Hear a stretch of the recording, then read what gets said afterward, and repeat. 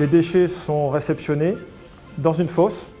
Ils sont ensuite repris par un grappin qui alimente euh, un four.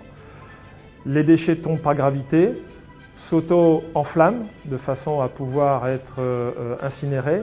Lors de la combustion, l'énergie dégagée permet de chauffer de l'eau, de la transformer en vapeur. Cette vapeur est ensuite valorisée sous forme électrique ou thermique.